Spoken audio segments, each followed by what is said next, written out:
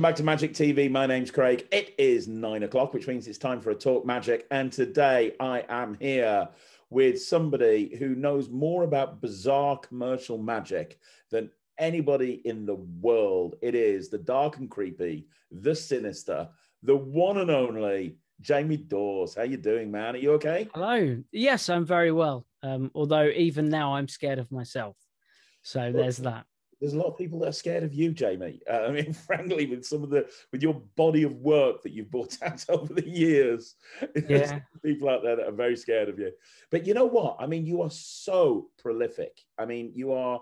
You just told me off camera just before we started this interview that you're doing like a self-release every single month this year on Trying top to. of everything that you've got coming out with people like Kaymar Magic and Alakazam and all these different companies, you just like and and the interesting thing is everything is just super top top quality.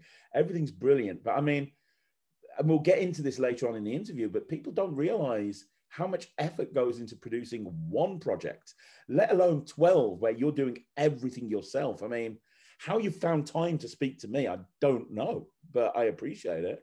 It's bit literally. I showed you behind me. I've got boxes upon boxes of stuff that I've been packaging for the past two weeks. Mm-hmm. Um, yeah, it, you basically become a one man factory. That's the way I put it. Um, you're doing every job on in the factory um, subsequently. So yeah, but it's good fun. I enjoy it. So that's all that matters. And and you know what? Everyone who buys your stuff, they enjoy it as well. So that's awesome. But you know what? Oh. I want to talk to you about creating. I want to talk to you about tricks. I want to talk to you about everything. I imagine most people watching this channel have heard of Jamie Dawes because you're a big name in the community. But just in case there's somebody who hasn't heard of you, I want to just set the scene, do a bit of backstory, and find out a little bit more about how you got into magic. So let's start with your origin story, Jamie. What is your origin story? How did you get into into magic? So my mine's just cl- cliche, I'm afraid. Um, so when I was six, my mum bought me the small Paul Daniels magic set, um, which was just a little 50 trick one. Um, but I loved it. It's just something in me really enjoyed it, and I learnt them. And I remember like the plastic multicolored cups and balls and the sponge square. It came with a sponge square, and I, to this day I don't know why. Um, so there was a sponge square in it, and then I got into Marvin's Magic because Marvin's Magic was quite big then and it was on QVC a lot. So I remember, um, I've still got the tape downstairs somewhere. I remember staying up one night and videotaping QVC when they did the pub tricks, the the tube pub tricks that they did on there. Um, and then my mum basically for every birthday and Christmas, I would always ask for a magic trick. So they would constantly buy me tricks until I had Marvin's Magic's entire collection. Um, and then I also had the big Magic Circle red and green boxes. One was um, card tricks and one was just prop tricks. So I had all of these things. And then when I hit um, 16ish and I got my first job, I started venturing into London. And then I went to a stall called the Magic Cave, which was in Covent Garden, which was run by um, Lee Hathaway. Um, and it had Neil Henry working on there and Daniel Young working on there. And we become like a little community of people that would meet up there quite often. And that's where I first met Angelo Carbone, which was just mental at the time. Um, and it was like a, a little hub of of magicians who would always meet and I would just hang out there for ages and annoy them probably. Um, and then I used to go to Davenport's and I used to always go in there, which was amazing, like to see it Davenport's um, it's so sad it's gone because it's so many memories for everyone there. Um, and then I just sort of carried on, and I've always had performance in me. I've always been a performer. Love theatre, musical theatre. My background is actually theatre. That's where I went to university and done a degree in. Um, and then I just started when I was 16. I put I put together my first trick, which was called Scared, um, self-cutting always ready everyday deck which was named by angelo carbone at that stall um, and from that point it just sort of carried on going which is mad because i'm now 31 so considering i was 16 when i came up with scared and now i'm old um, Don't say you're old. I'm like 14 years older than you, mate, or something ridiculous like that. You don't know old. I just realised I've just insulted so many people straight away. um, you're not old. You're amazing. You're you're maturing like a fine wine. Um, so yeah, it's it's one of those things. Time just gets away with you. Um, and I think of all the people that I've had the opportunity to work with throughout the years.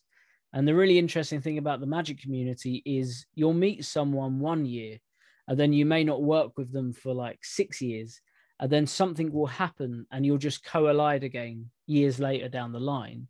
Um, so everyone has this sort of nice tight knit family and, and, group of people uh, that talk to each other. So yeah that's pretty much the, the story. It's quite a cliche um, but th- all these years on at the age of 31 i'm still going still going strong so let's let's let's break some of that down and like delve deeper into a bit that. I don't know the answer to this, so I'm going to ask you. You you are and and have been for a while a professional magician, right? A mm-hmm. full time pro, isn't it? Yeah, that's what I thought. So and and I know you do a lot of restaurant work as well, don't you? Um, so, so let's talk about when you started going pro. You talked about hanging out down the cave when you were like 15, 16 years old, 14, hanging out with some amazing. I mean, the list of names that you just gave me that Angelo Carbone has become like the number one creator of magic in the world.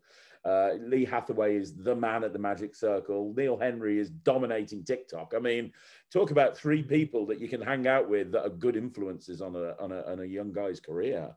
Um, Hundred percent. They're all amazing. Like I remember, because I knew who Angelo Carbone was anyway. So when you're a kid, when you're like 16, 17, and someone that you really look up to starts like talking to you, it was just mad. And the fact that he he's such a lovely human being, like just the loveliest man. He he he gave his time to me so freely all the time. Um, so yeah, there's they're all lovely people and he has no ego at all. Absolutely no, no none. Yeah, it's crazy. Guy that talented has no no no no ego at all.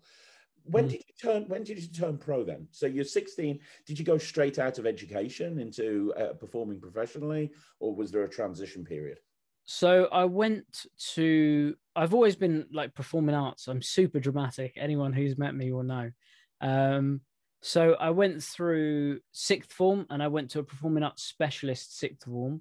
Um, and that was when I uh, did a course called English Communication Studies, um, which is really coincides with magic quite a lot. And it was a really interesting way of looking at things. Um, and then I did music and performing arts. And then from that, because my dream was always to be in the West End, was to be an actor and a singer. Um, and I was classically trained singer at the time. So all the way through my life, I had singing lessons and stuff like that. So then I left college and I went on to university and I did a degree in drama and performance studies. And it was because of that that the bizarre stuff started coming through. Because my final year at uni, um, we had to put on a performance, and the criteria, um, like nothing to do with the fact that I did magic, was to try and trick an audience. Um, and because I'm just a bit sick and twisted, um, I decided to fake an acupuncture seminar um, and have the trick go wrong and basically put a needle through someone's arm without them knowing using the needle through arm gimmick. Um, and uh, yeah, so so we basically did that. We hired out like a dentist chair, like a horrible dentist chair, had a Funken ring on, um, and I had a lamp. So then when I set off the Funken ring, dropped the lamp, um, put the needle through her arm so when she looked down there was blood. Um, she wasn't happy. Um, and then we basically faked everything going wrong so the show was shut down. Um, i had an actor come in who had like um, a paramedic's uniform on so it looked like there's a paramedic and yeah it was it was interesting. So i've always had that sort of performance side in me um, and i've always always done magic like around everything. I've always found ways to incorporate magic into whatever i was doing um, so yeah, I don't know. There there was no real transition. It's just always always been a part of my life. It's just the, the one strand that goes through everything is magic. Okay. And we're going to talk about creativity in a bit and the different things that you've created, but it's suffice to say you are known as creating a lot of dark material and a lot of bizarre magic. Now, you just told me that when you were in college, you scared the crap out of a whole bunch of people in the audience and there's blood and everything. Was that something that, I suppose the question I'm asking is how did we get from a six year old with a Paul Daniels set doing cups and balls with brightly colored cups to scaring the crap out of people and making people believe that like there's blood going everywhere and needles and how did we get from there to there i don't really know because well the thing was with with that project it sounds like i just went in hard. Um so part part of the criteria of that course was to um find ways to impact people not necessarily in a positive way but about triggering other emotions in people. So we weren't necessarily encouraged just to go for a happy thing or you know the the norm. It was to try and find unique and interesting ways to get people to think about things. So for example one of my colleagues um, we had his funeral. So he bought a load of turf kitted out the theater like a graveyard buried himself got his mum and dad to write a eulogy and we held his um, funeral and we all had to put soil on him. It was a interesting day. Um, and then another friend uh, who was, was there. Fucking college is this? yeah, tell me about it. Um, and then another friend of mine done this amazing performance where she put envelopes underneath spectators' chairs, and um, she had a massive dinner table um, so she said, if you've got a piece of paper under your chair, can you come up here and can you place your mobile phone on this tray? So she got them all to put their phones on the tray, and they sat in this this um, dining table.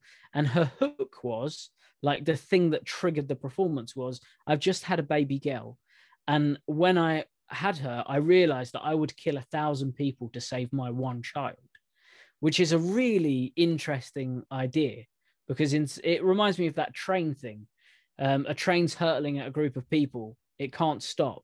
There's one person on one track and a group of people on the other track. What do you do? Do you, do you pull it so that it goes towards the one or the group? Mm. It's one of those. Trolley, the trolley problem. Yeah. Yeah, absolutely. So she had this thing. Um, and her performance was each person sat at the dinner table had to do something gross um, in order to get their phone back. So the first person had to drink like a, a mixture of fermented eggs and uh, just hor- horrible stuff. It's gross. Um, and then person two decided not to do it. So the, the person at the table said, No, no, I'm not going to do that. Of course, I'm not going to do it. I don't care if I'm in a performance. So the girl in my class decided to take this random person's phone.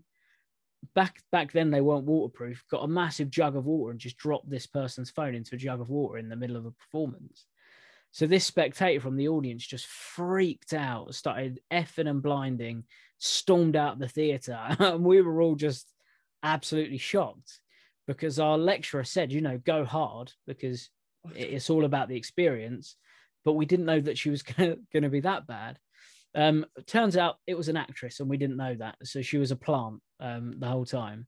But the ending of her performance was interesting because she brought out um, nappy scrapings and she said to the last person, "You can either have your phone back and win a thousand pound if you eat some of this nappy scraping, um, you know, like you, you've got to do it basically."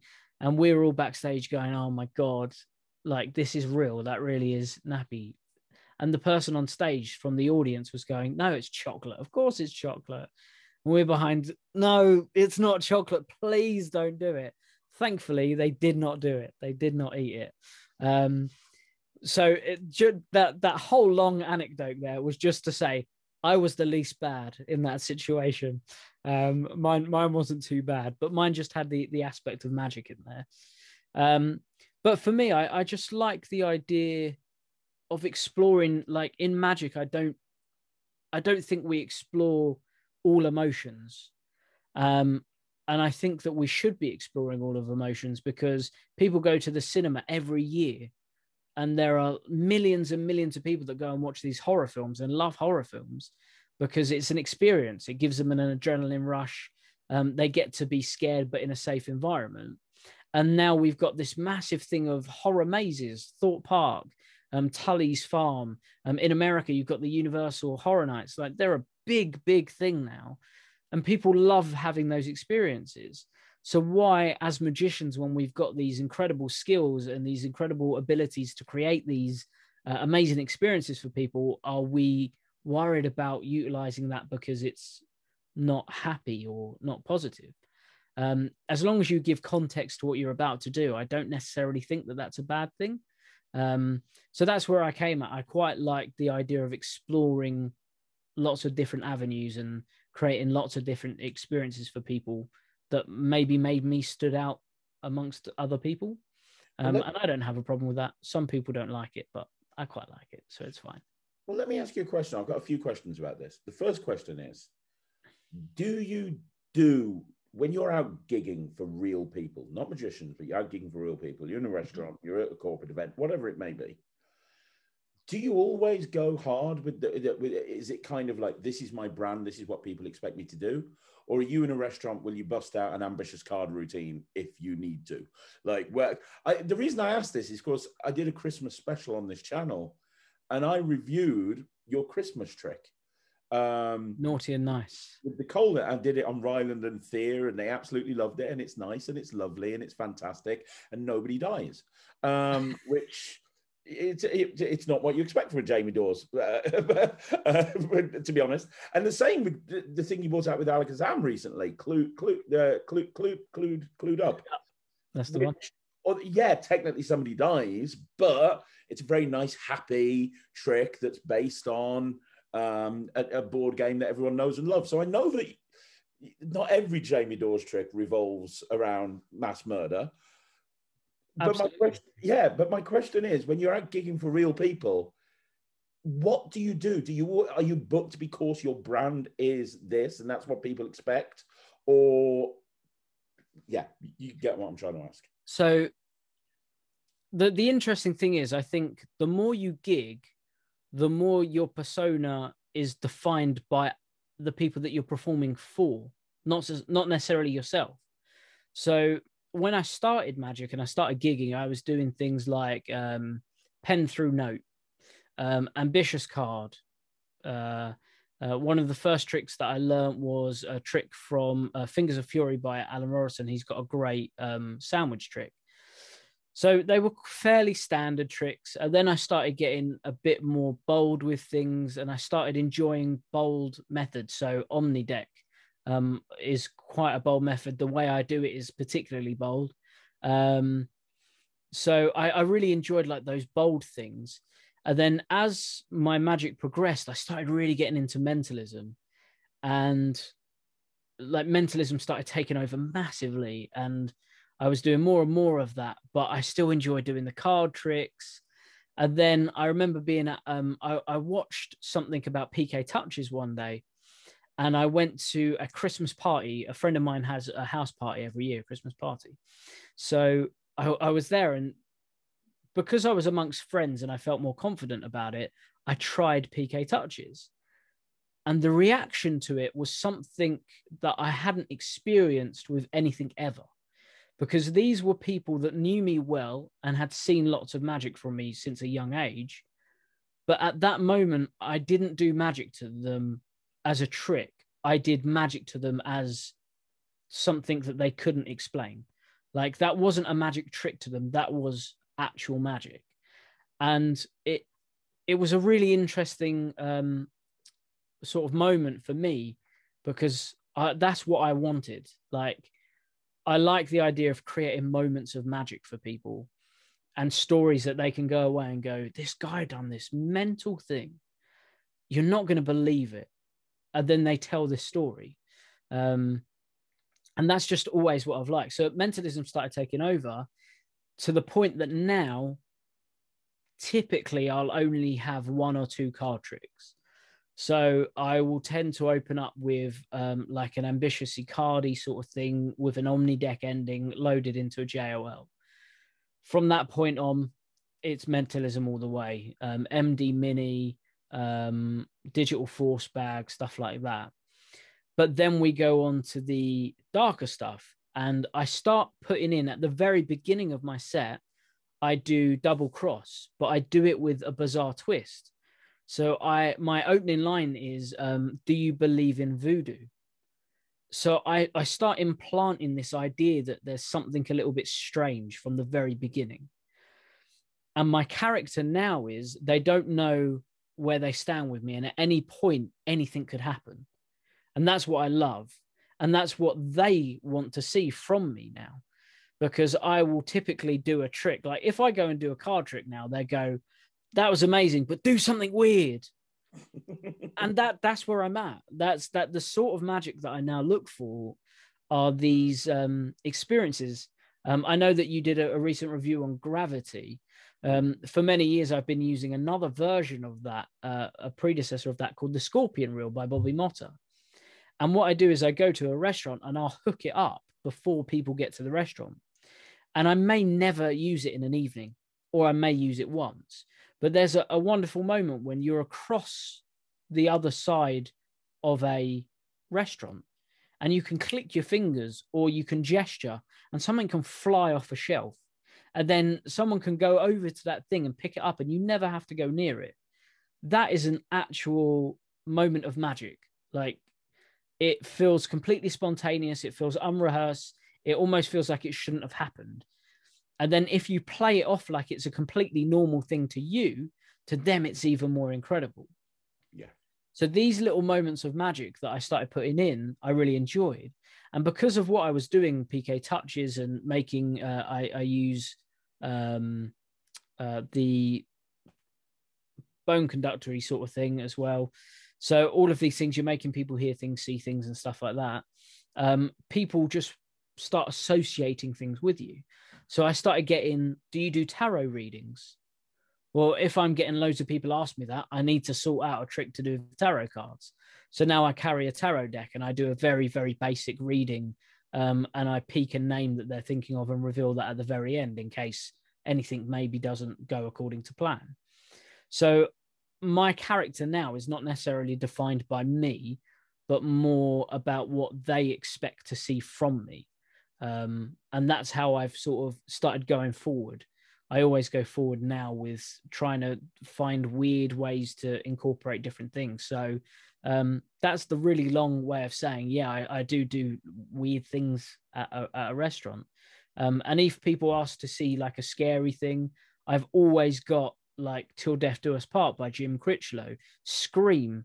Um, uh, I've got um, He's Not Here. I have a little torn up photo tucked in the zip compartment of my case. So I've always got them to go to if I need to go to them, if the occasion's right but that's the the main lesson there is if the moment's right if it's for the right audience and i feel like they want to see that from me and they're expecting to see that from me then i'll go and fetch that trick and put that in um, if i feel like it's maybe not great for that group then i probably wouldn't do that for them um, but yeah i do genuinely do it and i'm not afraid to do that sort of magic because it it now pits me apart from anyone else that's around my area doing gigs.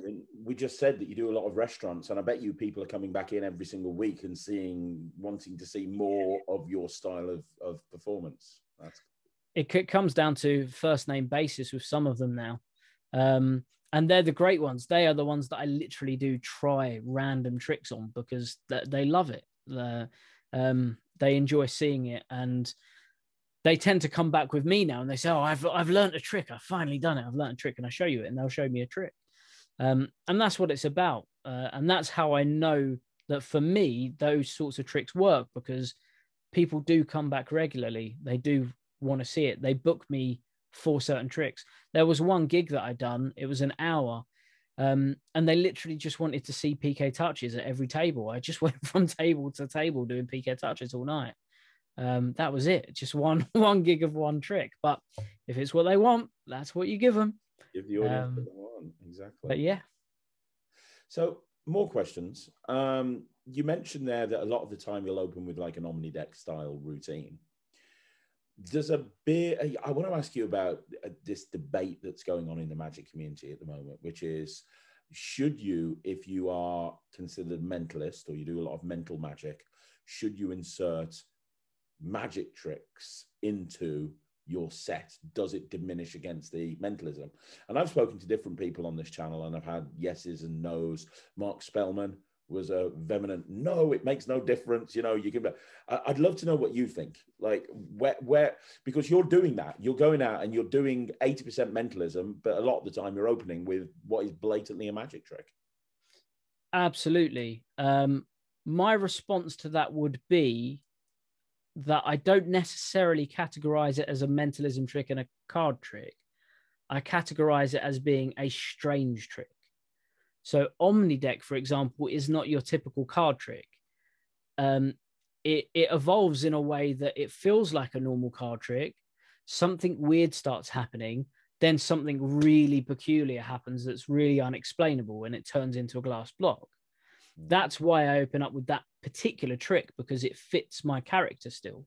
Even though it's not mentalism, there's still that weird aspect in it where, you know, there, there's a, a, a solid story that they could go away. He turned a deck into a, a glass block in my hand, which fits perfectly with he drew a cross on my, on his hand and then it appeared in my hand, or um, he put his finger on my forehead and then I heard a voice and I know what she was thinking, or I had my eyes closed and he tapped someone else, but I felt that. These are all little stories that feel completely weird and strange, but help build my character and my brand. So I don't have a problem with mixing mentalism and magic. I, I think that there is there's a lot of magic theory, but in practice, magic theory is not always right. Um, you it's great to have theory, but until you go out and you see what people, normal people, not magic people, think about these things, then I feel like we live in our own heads a little bit as magicians, and we're always theorizing and wondering this and that. Um, the answer is just go out there try it, see what happens, and then you'll find the answers. Um, so no, I don't have a problem, but I don't necessarily come at it as mentalism and magic. I come at it as that's a weird moment of magic.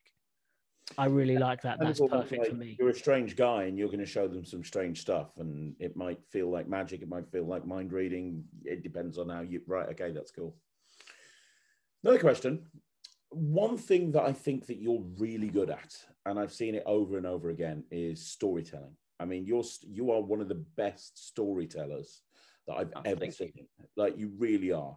And other people that I've seen that are good storytellers are people that dabble in or completely embrace sort of the bizarre style of magic. And I think that if you have if you if you do a lot of bizarre magic, you automatically become a great storyteller. People like Eugene Burger, people like yourself, people like you know, let's look closer to home, Jester Styles, Tom Mullinger. You know, there's a lot of people watching this that struggle with storytelling, and I have been one in the past that's taken the easy option and rather than trying to weave a story together, it's kind of like pick a card, any card, right? That card, look at the da da da da da da, and there's no story to it at all uh, because it's the easy, it's kind of the easy approach. As somebody mm. who's so good at telling stories, is there any advice you can give to people watching this on how to actually make your? But first of all, why should they try to incorporate stories into their performances? Uh, and secondly, how would they do that in order to make their performances stronger? Uh, well, the first thing I would say is I genuinely, and I'm not just saying this, I don't believe that I'm a particularly good storyteller at all. I believe that I do just tell stories. Um, and sometimes that's all you need. All you need to do is to tell stories to be good at telling stories. Um, but the other thing that I'd say is is a nice little callback to earlier on when I said I did a course about English communication studies, and essentially the course is looking at um, how we represent information. Um, for example, how we interpret pictures or video and how we take information from those things and how that may be able to be manipulated. Uh, um, and one of the things that they spoke about on the course was how, as human beings, we talk in stories. It's it's a natural thing in human beings that, you know, there must be a time that you've been at home and you said, "Ah, oh, today at work, you wouldn't believe it. Sally came over and she had this and that happened, and oh, it's just so, it's so frustrating. And in that moment, you're telling this story and you're passionate about it, and your emotions coming through, and you're gesticulating and you're excited, and you you can you're giving that emotion away to other people. So when people say that they're not good storytellers or they're worried about storytelling, you're a storyteller. We are all storytellers. It's about having the confidence to tell a story. Um, one thing that I like doing is if anyone's come up to me and seen me do Scream or He's Not Here or one of the story tricks at a stand, every dem that I do, every magician that I do it to, I go hardcore with them. Um, I will make them jump. I'll soften my voice. I'll um, I'll make sure that they are in that moment with me, Wh- whoever it is, however many times. And I'm not afraid to be over the top and a bit scary or a, a little bit, you know, OTT with it. Doesn't matter because I'm trying to create an experience. And whether you're a magician or a member of the public, I still want you to feel that. I want you to enjoy that moment. Um, so if you're wanting to tell stories, you're a storyteller. Just don't be afraid to tell stories. Um, look at other people, look at how excited they get, and remember those feelings when you're telling them. Um, and the last thing that I say is always come from a place of truth or a place of experience. So even these horror stories that I write, um, like I've got loads of horrible stories that I've written. Um, one of the ones that I could tell you is um, based on a true story, which is just a mental story. It's about a woman called Susanna Cartwright. Um, and she basically found out her husband to be was cheating on her so instead of just telling him, she plotted his murder. And on the night of their wedding, after they got married, she waited till he was asleep and he had a shotgun hanging on the wall. She took it off, pushed it into his forehead, pulled the trigger, and killed him with one bullet. And she took his wedding finger with his ring still on and she cut it off with a kitchen knife and put it into a envelope. And she sent it to the police with a note saying, um, my husband's played so many games with me. I'm going to play a game with him. You better find his mistress before I find her first. And then the police just went on this wild, wild goose chase. It's just, it's just mental, right? Don't ask me where I find these stories from. Um, but that particular story, when I first um, wrote it, because none of that is real, but it comes from a place of truth when I'm telling it to you, because much like a playwright would write an entire backstory. I know everything about Susanna. I can tell you what she looks like. I can imagine what the house looks like. Um, I can imagine probably what their bedding looks like. They've got a history together. In my head, this story is real. And as I'm telling it to you, it's a real story that I'm telling. So when I'm relaying it to you, I'm I'm hoping that you feel that emotion. Um, and the, the easiest way that I can put that is Has anyone ever told you a ghost story? And as they're telling you that ghost story, you get the hairs on the back of your arm start standing up and you get a bit, oh, like, oh, oh, I don't like that. That's that's weird. The reason that you get that is not the story, but it's the emotion that you're seeing in someone else telling you the story. Yeah. So much like a film, if you take the music away from a film, it's not scary. A horror film is not scary. You put the music in, that's what makes it scary. When someone's telling you a story, it's not necessarily the story story that's scary. It's the emotion that that's coming through as they're telling you the story. That's what's making you believe it. This person's coming at you from a, a perspective of truth. You have no reason to doubt this person. They have no reason to doubt their beliefs and what they've seen. So you then buy into it and you believe it. So when you're telling a story, just believe it. Like start start believing it. Um, one of my favorite pieces of magic that i've ever come up with is not a bizarre piece. It's a trick called love and war. Um, and it is a romantic trick. And it's it's one of the best selling tricks that i've ever had um, which is weird because it's just like a little download thing. Um, but you'll see the people comment underneath the the trailer and the video just what an amazing story. Like it's such a touching thing um, and that like when when i tell that story i get so choked up with it. Like i get so emotional with it um, because it's just a lovely story. And it was actually based on a story um, from a book called dirty white boy tales of soho which was uh, the actual story was about a guy that owned uh, um, an lgbt clothes shop um, in in the middle of london and these two guys used to come in and talk about their long lost love. And then it transpired that they were each other's long lost love and the shopkeeper just didn't realize that they were on about each other for years. So they were literally in the same shop looking for each other but never knew that the other person was there. So then um, i sort of just took that story and created a, a slightly more commercial version. But in my head everything was planned out. Everything was completely believable like i really believe it when i'm telling the story. Um, and because it's based on that true story it gives it helps me give a bit more emotion to it because i know that that is something that could happen and basically did happen. It's just i've put it in a slightly different context to make it a bit more commercial. Um, so yeah there are lots of different ways to tell stories but the again the short answer to a very long answer is you are a storyteller. Um, just have confidence in yourself to tell stories do you use stories as a source for inspiration? And what I mean by that is, do you like listen to a story and go, I bet I can use that in a trick? Because I've never seen anyone else say that ever. I've asked the question a million times can you give some advice on creativity? No one's ever said they find a story and that's the basis of a trick. But it sounds like that's something that you do an awful lot. Yeah, well, I'm I'm actually like a big, softy, emotional person. I'm one of the ones that can watch a sad film and like I'm gone, or um, uh, not even a sad film. Like I'm I'm one of the ones that there's a happy ending, and I'll literally be like, yes, great. Um, like I said, I'm very dramatic.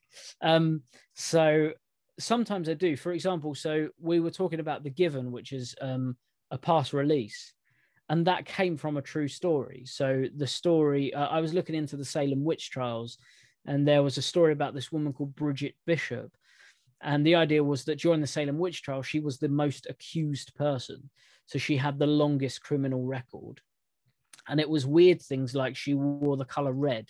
Which was uh, a sign of the devil, or she had late night parties, or she had more than one husband, maybe at the same time so that was where that story started and then i just elaborated on that story and uh, i came up with this hook that um, uh, those people those witches at the salem witch trials some of them were actual witches and they belonged to Motto, M O T O, which was written about in a couple of books, which was the movement of the occult.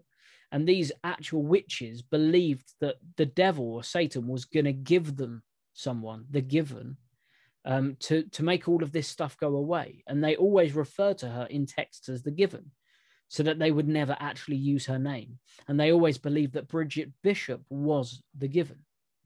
So all I've done is I've taken the actual story of Bridget Bishop of this woman, and then uh, twisted a couple of things and added a couple of things in. So there's enough truth there to hook things, but there's enough there to make the method and the trick work as well and make it unique.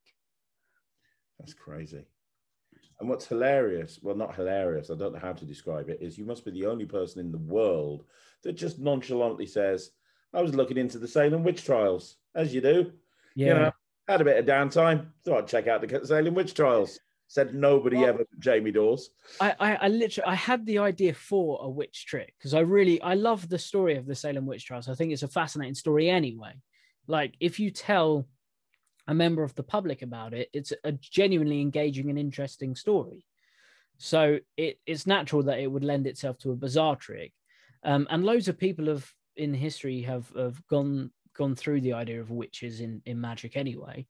Um, but I will say that the bizarre community as a group of magicians is probably one of the tightest group of magicians and they're so devout about what they're into like there are very few um, bizarrists or bizarre magicians who aren't really into the subject matter or really into creating those moments of of magic and weirdness. Um, so I guarantee that there are probably tons more magicians out there that go even more in depth than than I do in these things. Do you ever find that you get yourself to a gig and and storytelling is just not an option like i've done gigs at christmas where you're in a room where there's 50 tables there's 20 people on each table there's a dj who apparently doesn't understand what background noise is what hmm. background mm. music is and you're walking up to the table and you're like hello, and they can't hear you. You could scream into the guy's ear, hello. And so you end up just doing some flashy coin stuff, solve Rubik's Cube, right, move on. That's a environment. Now, what do you do in that situation? Do you just like not take a gig like that because you know it's not going to fit your brand and you get and you pass it on to somebody else? Or do you to get, get a gig like that and you go, right, fuck it, and you just get your, your, you know, I know that you've got the ability to do that gig, you've got the skills to do it.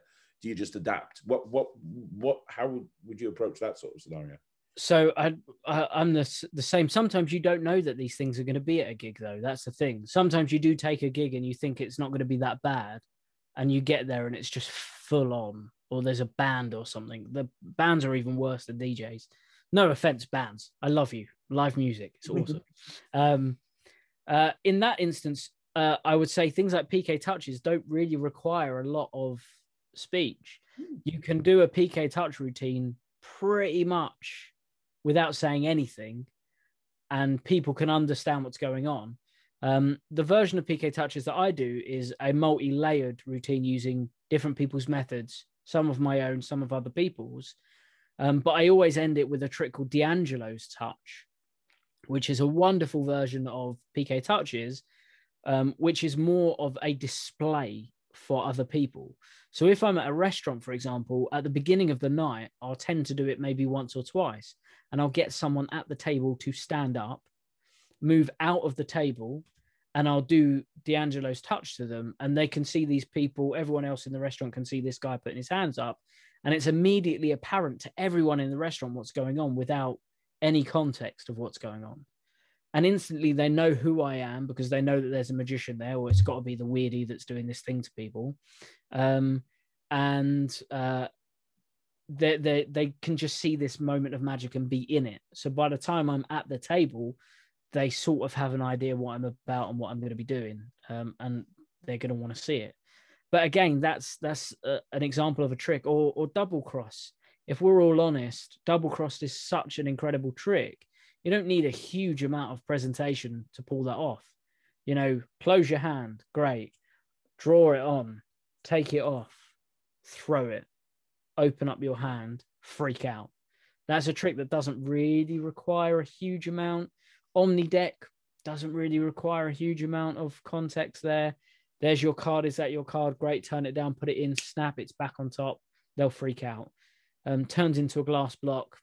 No explanation necessary. So for me, I think, like I said, it's not necessarily the storytelling, but the weird moments that create stories. So you can create stories without having to say things. Um, and like I said, even the wiping your hand and making something fly off a table from the other side of the room.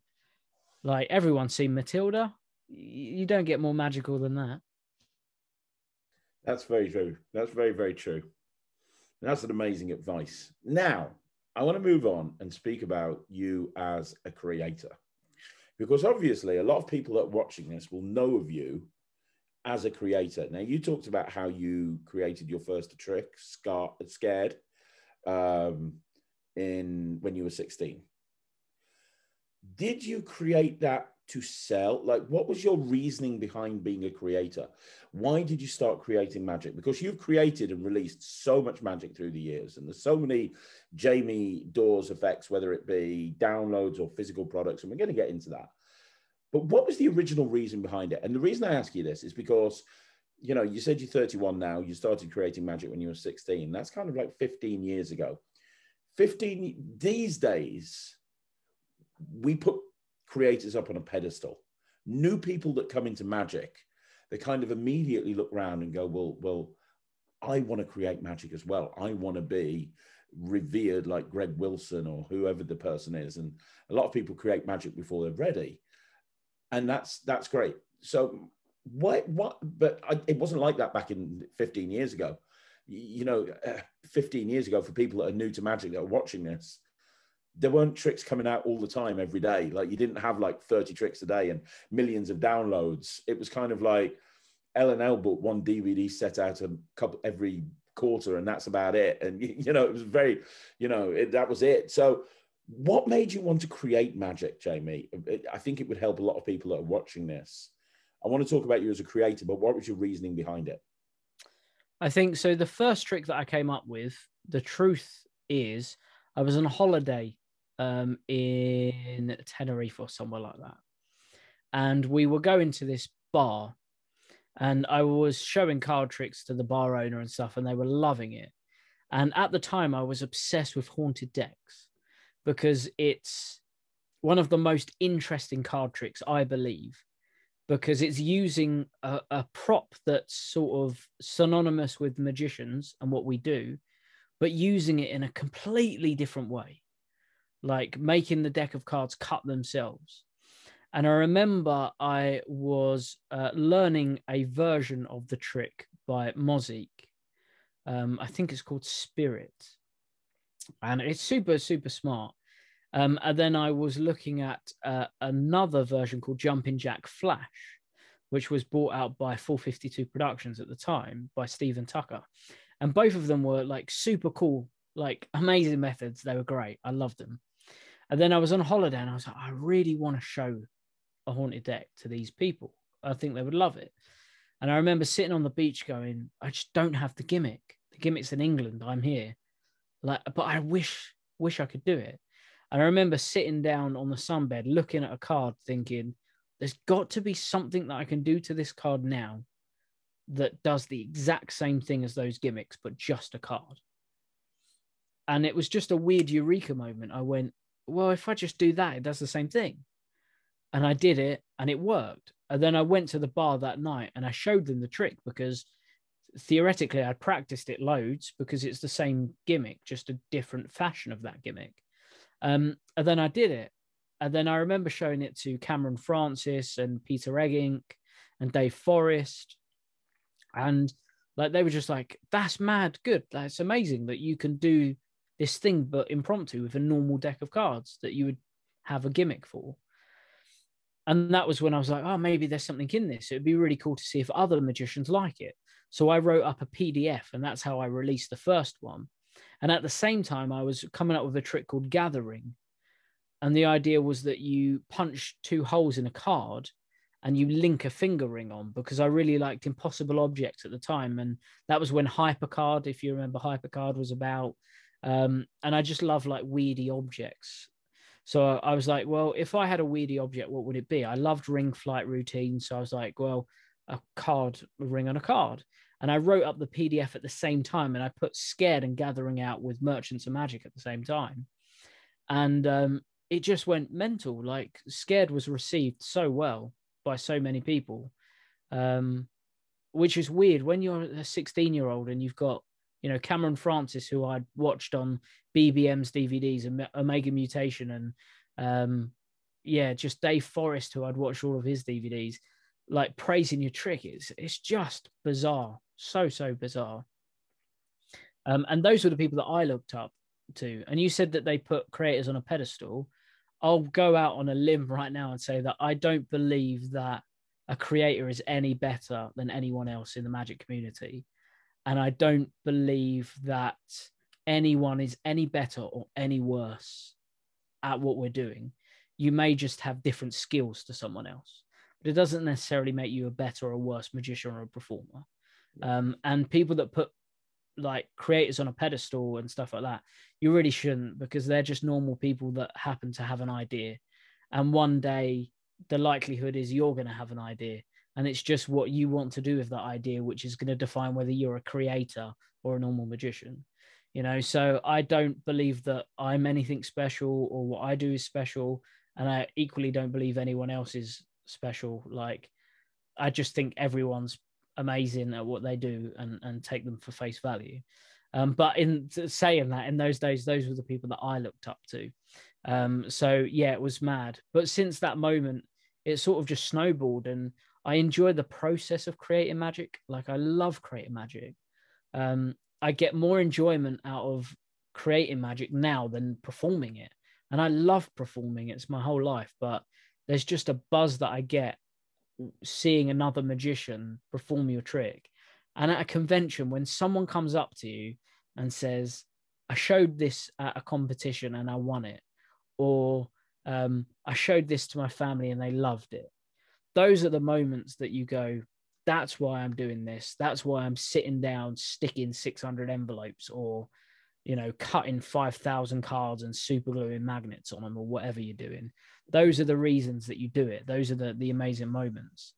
Um, so yeah, ever since then, I've just started just releasing more because if I like the ideas, maybe someone might like them. Um, or I'll just annoy someone doing Scream over and over again at a convention. Either way. so, have you got any advice for people that want to create magic, whether it be for their own act or whether it be to uh, release commercially? Any advice on on the creative process? Uh, because you've said to me in the past, anyone can create a trick, anyone can be creative. Uh, I, I think there's going to be people watching this that would probably go, no, I don't think I'm ever going to be able to. I just sit there and it just doesn't come to me.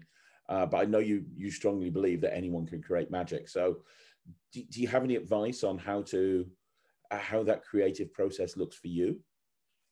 Um, I would say much like earlier on when I said, you know, people who want to tell stories, you're already a storyteller. If you're a magician and you're going out and you're doing a trick and you're presenting it your own way, then you're a creator. You've already created something yourself. You've created a new script. You've created a new way to perform something. You were already a creator. You've you've created something. Um, so you're already halfway there. If you want to create your own trick, I would say have a reason for that trick to exist. So when I started creating bizarre tricks, it was because I really like storytelling, and there aren't many storytelling tricks on the market. Even now, there's not many.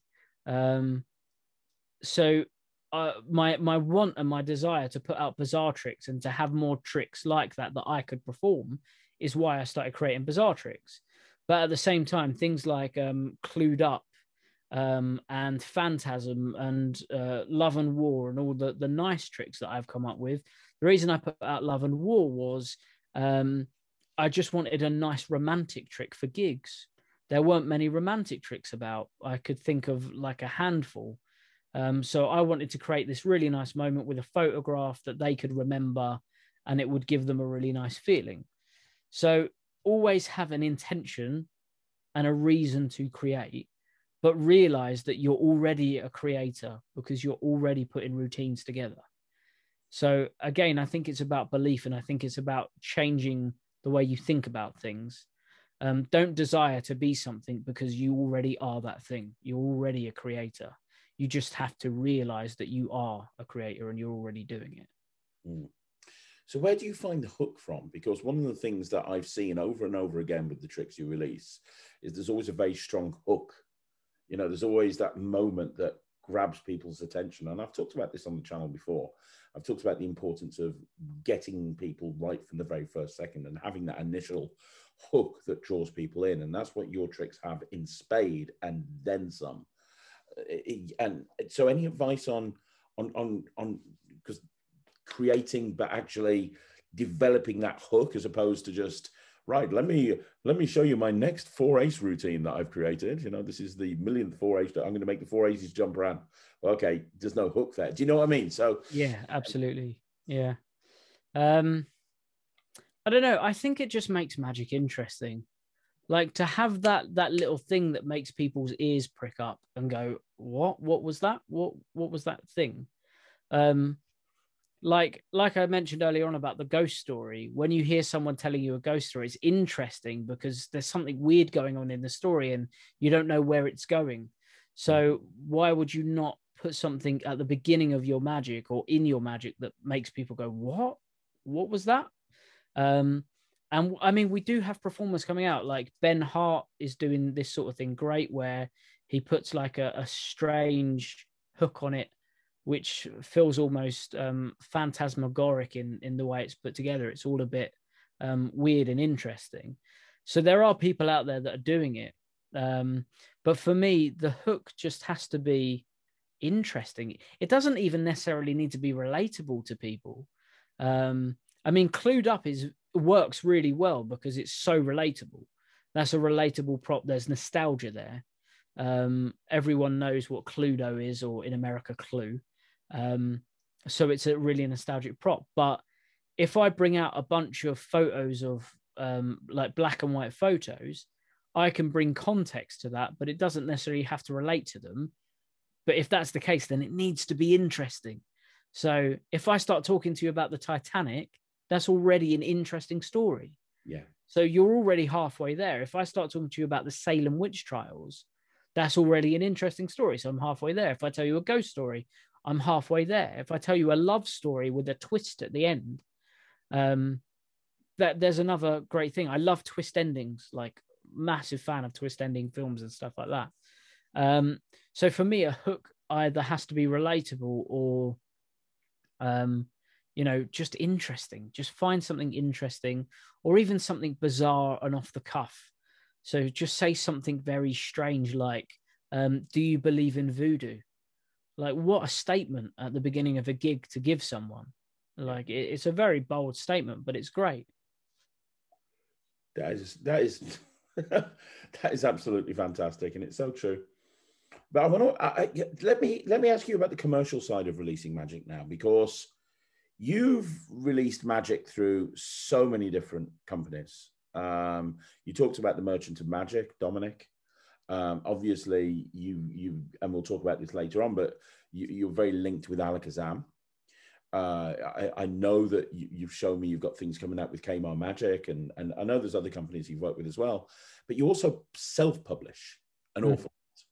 So I suppose my question is, let's say there's somebody watching this and they fancy themselves as a creator. They've got a trick, they've worked it in, they think that it's good. Um, they've checked with colleagues, and everyone says it's original, it's unique. What should somebody do if they want to release that magic trick? Should they go to a dealer? Should they uh, self-publish it? I mean, you do both. So, what what advice have you got on this side of things? Because this is something that a lot of people want to know. I think it depends what you want out of it. I mean, I've been like you said, I've been doing this for 15 years now, and I've got like the people that buy from my website and my tricks are like again, it sounds really cliche, but they are just amazing.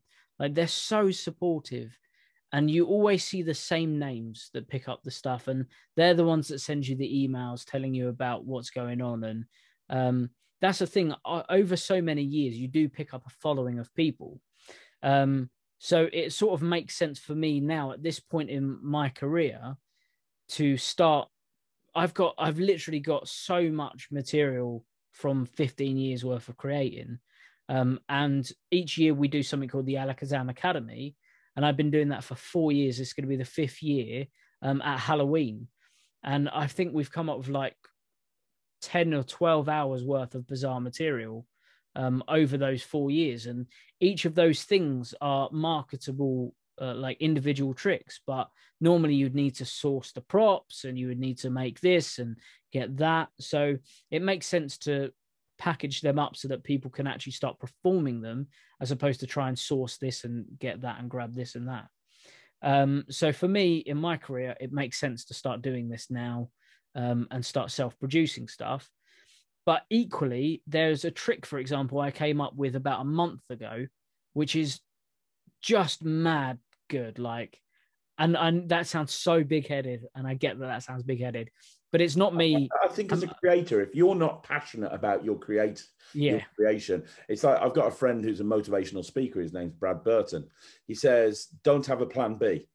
Because mm. if you have a plan B, it means that you don't believe in your plan A. If you don't believe in your plan A, mm-hmm. why should anybody else buy into it as well? So I, I, I no, I, I think you should be loud and proud. And you know, I, I, love it when I hear creators say this is the best trick ever, especially when they believe it like you do, because that says, hey, I believe in this. You know, I mean, so, this thing though that I've put to it's one of those things where I thought about it for maybe three years, like, and that's not an exaggeration. It was literally a thought in my head, and I loved the, the original version, but I was like, no one's ever bought anything out since that. That is not a prop I would ever use. That's not a prop anyone would ever use but it's a super clever trick. So, how would I incorporate that in a completely different way? And I came up with this this concept in my head, and I was like, right, I'm just going to sit down and make it. and it took me maybe five six hours to make the prototype of it just cutting card and putting plastic sheets on and coloring things in and making it look decent. And then i remember i didn't even tidy up the room. It was carnage with paper everywhere and card and knives and sticky tape. And i remember filming it and sending it straight to peter nardi and i just went look at this. Like this is so good. And he literally was just like what the hell? Like that is amazing. Like that's incredible. And i said surely there's a way that we can make this a thing for other people. But in order for us to really produce it it needs to be injection molded or you know done overseas in a factory essentially. And i don't have the capability or the inclination or you know the finances to do that Whereas a company like Alakazam and Pete will be able to do that way better than I could ever do. And it really is a prop that I know magicians all over the world will use this in their stage shows all the time, and it will be a staple part of their show. And it is super commercial as well. So, unlike my bizarre things, which I would say are a bit more niche, this is literally for any performer. So for me now in my head, I go, well, I can't do it. I need to approach a company. The company that I trust most because I have so much history with them is Alakazam. Um, and I know that Pete has the the resources and he has the um, contacts to do it.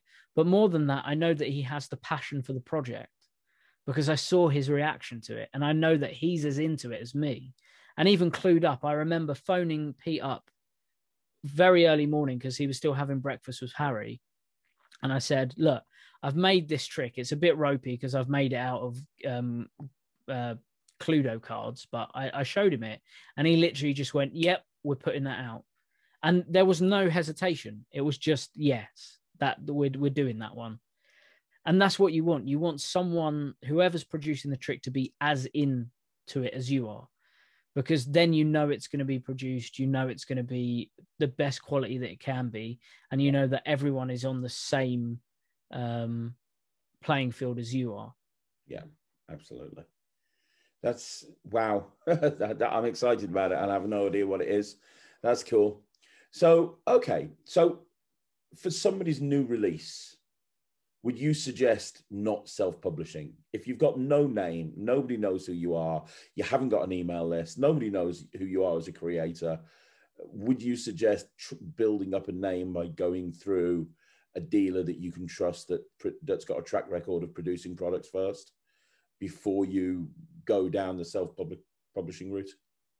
See now this is the hard thing and you've been like around magic for ages so you'll notice that 15 years ago, when I was like 16, PDFs were just new.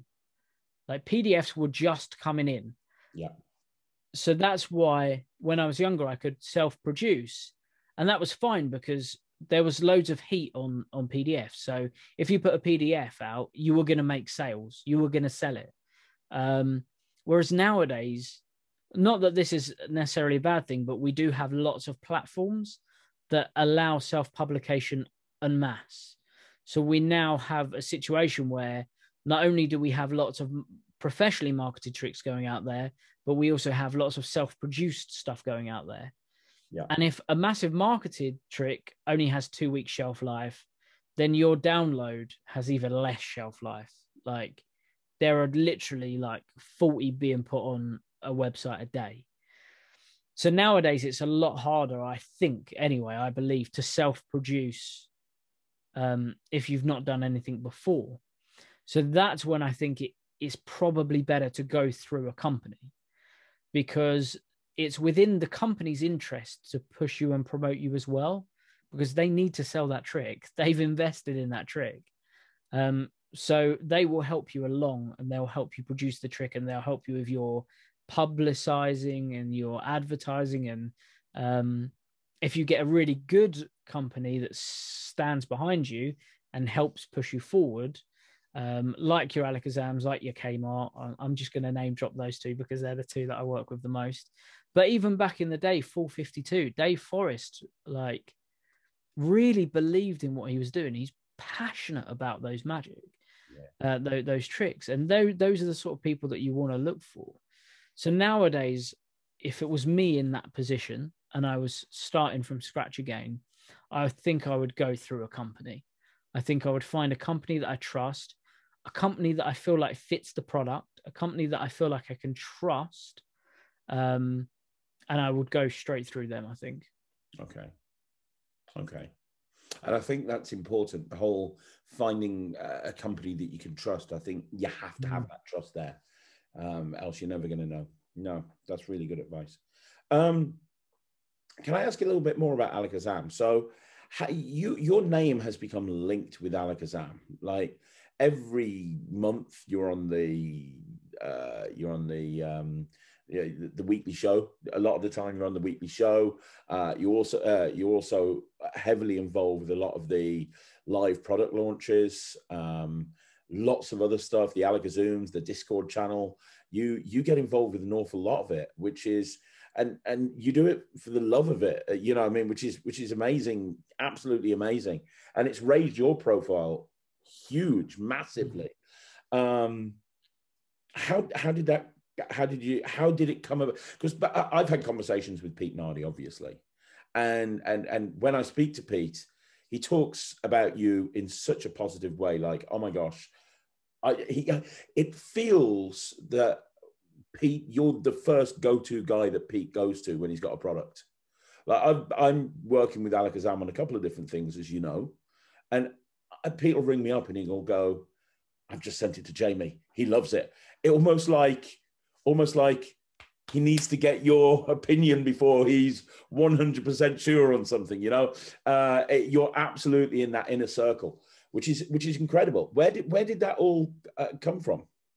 Uh, i mean I, I, don't think my opinion matters that much um, to him but um, the do you know it goes it goes back to when i was 16 so i came up for an idea for a color changing deck and back then it was when Christian Schenk from Card Shark was sort of coming through the ranks and building up his company.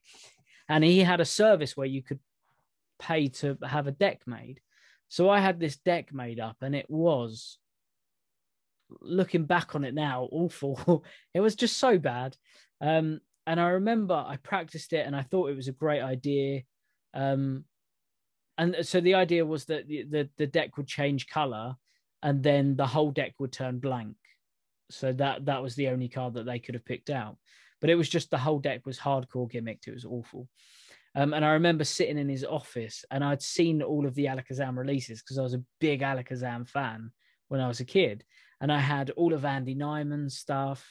Um, and I had like the Hidden and, and Killer Elite and just all of these things. So then when I was in the office, I remember just shaking. I was so scared and so nervous. And although Pete is like a big softy, he's he's a big teddy bear, really. When you hear him on a trailer, he's got that really South London gangster accent. He really has, yeah. And I remember thinking, like, if this goes wrong, does he? Is there like a room that he's just going to take me in, and then I'm just going to get beaten up, or like, how's is this like room 101? Do they just pull it and I'm going to fall through the floor?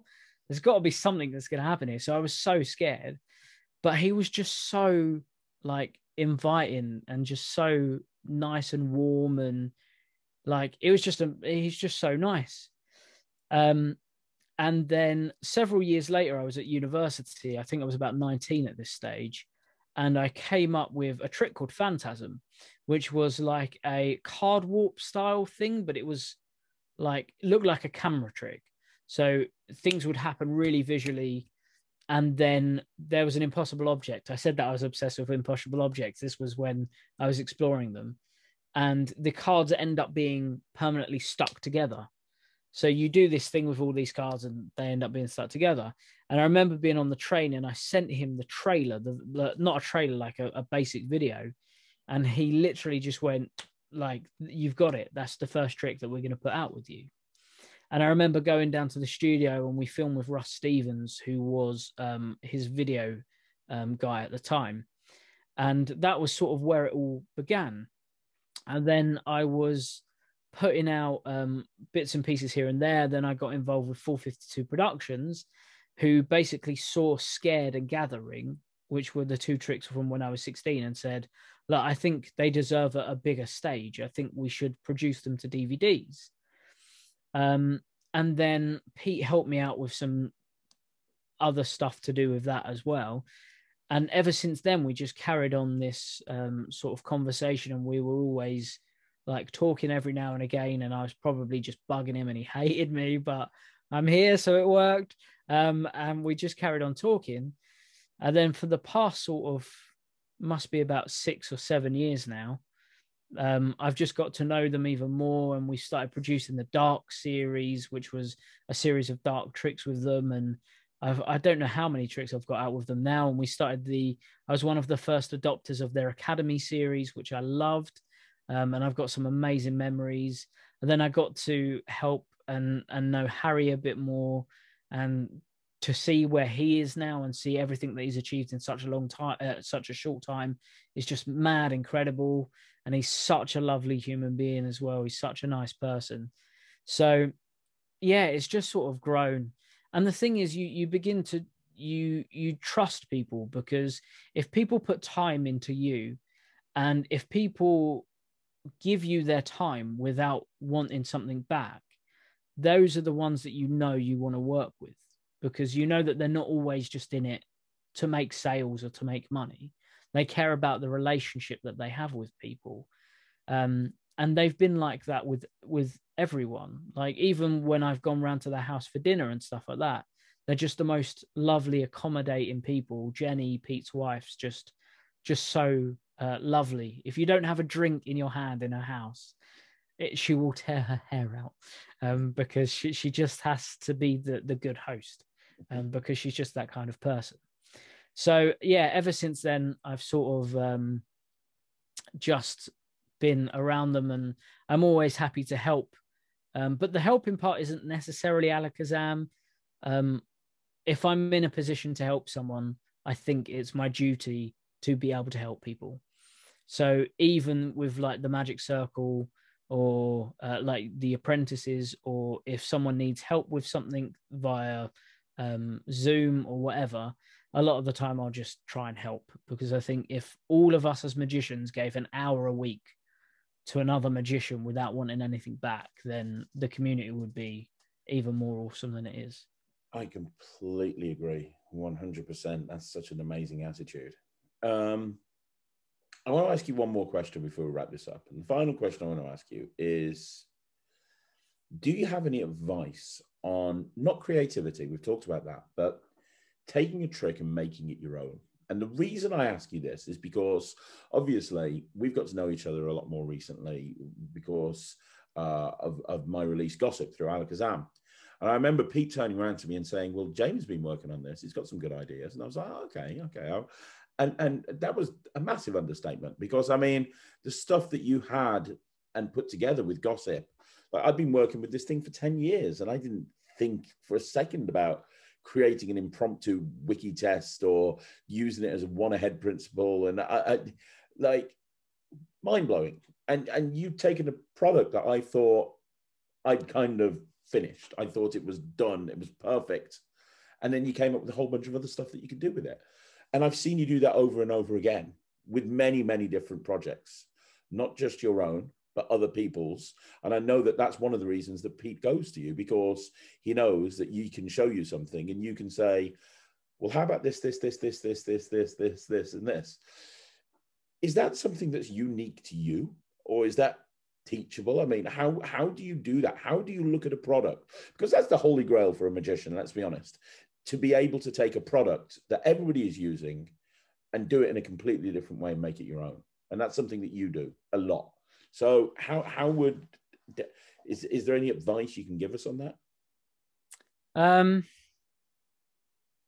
I don't know. I mean, gossip's an amazing trick anyway, so it didn't need any more input. It's just a different take on something, isn't it? Um, but what again, what I really like about Alakazam is Pete gives the space for an idea to breathe. So instead of just going, "That's it, that's done," he'll sit down and he'll brainstorm like 15 other things that you can do with it. Um, and sometimes those things are nearly as good as the original concept. Um, not not with gossip because gossip was awesome as it was. Like I literally, when Pete gave it to me in November time, um, I took it into because I was working throughout the pandemic in a in a local school, and I took it into to the kids, the the care worker kids and stuff, and they just went mad for it. They absolutely loved it. Um, they just were like they they just couldn't get their heads around it. They freaked out. It was great. So I knew straight away it was like a working trick. Like if you can get it past kids, let let alone the wife or the girlfriend or or the husband test, like it's all about the kids. If you can impress a kid, you're fine. Um, so I knew it was going to be fine. Um, but then a lot of the time, you know, they say that if you constantly think in a certain way, then you're always looking for those patterns.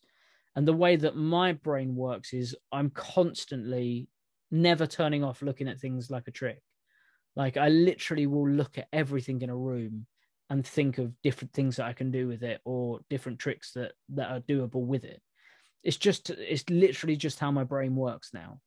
Um, and I think that's just because I I create and I obsess over creating, um, and I obsess over methods. I love. I'm one of those that loves collecting methods in my head because I know that when I need those methods, they're up there, yeah. and I prefer to have a catalog of methods in my head for when I need them than not having them at all.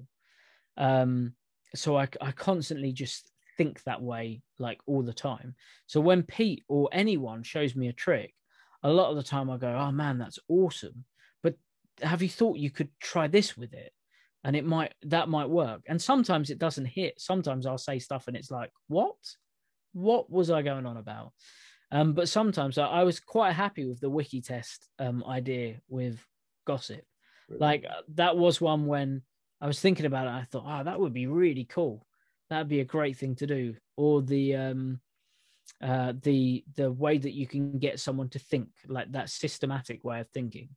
Um so i don't know. I think the more that you think in a certain way the more you'll act that way. So the more you think about creating methods the more you're always just going to see methods in things and find different ways of doing it. Um and i think it's really important to have a group of people that you send your magic to and get input on it because everyone will have a different take on it. And that's what makes it more interesting. Um, and again, I know you said you did um, Gravity by Joe Miranda a few weeks ago. And I love Gravity so much. And the first thing that I did is I just sat down and I made, I made a load of weird, bizarre tricks. And one of them was just a page turning over on its own in a book, like a really simple trick, or a match flying out of a matchbox on its own. So you get someone to light a match, blow it out. When it's burnt in the box, one of them flies out, and it's that one. Just those little ways of thinking, but because my brain works with bizarre tricks, and I I'm always creating bizarre tricks. The first thing that my mind went to is, well, if I had something that could move something invisibly, that feels a bit spooky. So it makes common sense to make a like a book page in a book turn on its own, or or something like that. So yeah i think the more that you just just think in a certain way if you if you want to be a creator and create things or um you know act a certain way just keep looking at things in those ways and it will just become more natural i think in the end. Perfect. That's a that's a really great advice as well. Man this is a masterclass. I hope people realize that watching this just how valuable the information is that you're giving away here jamie. Thank you so much I hope I haven't wasted anyone's time and I haven't babbled too much. Hell no. Hell no. Um, I'm going to ask you one last question. And it's the question that I ask absolutely everybody that comes on this channel, which is what's next for Jamie Dawes? Is there something left on your magical bucket list that you haven't done yet that you want to achieve? Because you've done so much. You're revered around the whole of the world as an exceptional creator. Um, you've redefined an entire industry with bizarre magic. You, you, I, would be willing to bet that there's nobody in the world that has created as much bizarre material as you. I, I can't even imagine anybody that that has. I might be wrong, but from my knowledge base, I don't think there is. Um, but I mean, you, you, you know, you're you are so revered in the magic community. You've done so much. Your legacy is set. Is there anything left that you want to do? What are your plans for the future? Um, my my thing is lecturing. Like, I really, I used to hate the idea of lecturing. Then it was Dave Loosley who basically said you, you just need to start lecturing, and um, because you've got so much material. Um, if you want to start getting your material out in the world, it's a great way to sort of spread your brand. Um, and I've got Over the years, where again a, a throwback to what I said earlier on, and you'll know this hundred percent. Over the years, you you talk to so many different magicians and you work with them in different ways. And I've got so many people in the states, for example, who I've worked with over the years, and they come over here for Blackpool and stuff like that. But I've never been out there to see them. So I think what I would really like to do is to maybe go to the States or or to Europe um, and start going to lectures and actually meeting these people that you know invest in every trick that I put out. It would be so cool to actually meet these people and you know to say thank you to them for their support and everything that they do for me and my my magic and my brand. Yeah. Um so yeah, for me um the aim is to start lecturing. I'm going to try and do a um, an American le- uh, virtual lecture tour this summer, but it will be the first lecture that I do solely on bizarre magic because I've never seen a lecture at a club which is bizarre magic. Um, and even if you're not into bizarre magic, it's still interesting to watch someone else's point of view or perspective or different kind of trick. Um, yeah. Yeah. And also, there's so many lessons that we can learn as performers by watching somebody who performs bizarre material. Because I think the problem with a lot of magicians is they focus on technique. They, you know, they they they make it less about the entertainment and more about the moves. Not everybody, but I've never seen that happen with a bizarre magician. It's always first and foremost presentation engaging the audience and techniques are used but only because they need to be. It's the simplest approach. That tends to be the case. Yeah absolutely. I would say could you imagine if a filmmaker only obsessed on the movement of the camera and not how how good someone was acting or the storyline or the aesthetics of of what they were doing or the music you know? There's there's in every other creative industry you know the way that that's portrayed to the audience like a canvas on art and stuff like that.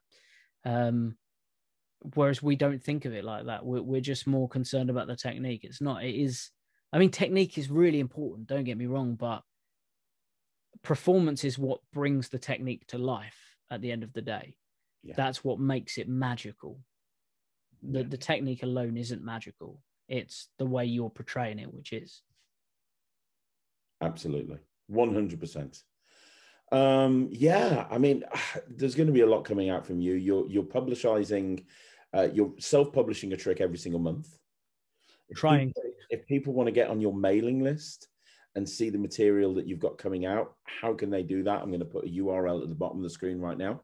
Uh, so you just go to jamiedawes.co.uk forward slash shop. And if you scroll down in the middle, there's a mailing list section. And I will say that as I mean, last year when the pandemic hit, um, I was a very early adopter of like virtual shows and Zoom and working out the tech. Um, and I actually set up a massive web page. I basically took any old download, things that I'd unpublished that I didn't think anyone was interested in, but someone might. Um, and I just built this massive web page of just material that people could have for free um, and the response from it was amazing. Uh, so it was called Occupy Your Mind. So as a thank you to like the support of everyone over the past like year, over the next three months, I'm going to give everyone on my mailing list a free trick. So I'm going to film it.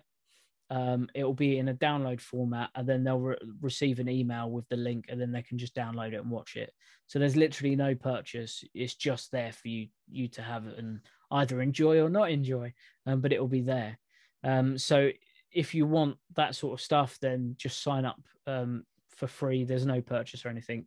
It's just a little way to to give back to everyone. That's brilliant. Um, and so that's where you can get your your material that you publish yourself. Obviously, you've got a whole bunch of stuff on Alakazam. If you just go on Alakazam and search Jamie Dawes, a lot of a lot of magic will come up. Just and you, yeah, and you've shared with me some of the stuff that you've got coming out over the next few weeks and months. Uh, the thing that you've got coming out soon with Kaymar Magic is incredible. I had a sneak peek of it just. It's unbelievable. Yeah, uh, very wait. very cool. It's going to be great. That's that's been another one. It's been we've been working on it for maybe six months plus, um, and we're now at the stage where we've got we've got all the props. We just need to film the trailer, essentially. But um, that one tailed off the back of like the Cluedo, the Clued Up sort of thing. It, it was kind of being developed at the same time, and when you see them both, you'll understand what I'm on about there. Um, but yeah, it's it's I'm really excited for it. I really, really am. I can't wait for it to come out. Yeah, that's that's that's killer. So there's a whole bunch of stuff coming out, and and obviously you've teased something else that's coming out through Alakazam at some point in the future. So, Jamie, I I know we're going to be seeing a lot more of you. Uh, I know you're not going anywhere, and you know what? I really appreciate you coming on the channel. You're an amazing guy, and I want everybody who's watching this to support Jamie. Go and jump on his mailing list buy some of his products because Jamie, you are one of the good guys in Magic. Thank you so much. And thank you for having me as well. And thank you for all the content as well, taking people's minds off of everything. I try. I try. Thank you for noticing. I appreciate it. Jamie will see your comments, guys. So if you want to leave a comment, please do so down below. And uh, remember, if you want to see uh, if you want to see more videos like this, do three things: subscribe to the channel, like the video, leave a comment down below. Uh, we're doing 24 videos a, month, a week. Uh, got three videos coming up tomorrow one at two, one at six, one at nine. Um, so, yeah, I'll see you guys again tomorrow at some point in the day. Jamie, one more time, thanks very much for watching. Thanks for Bye-bye. being.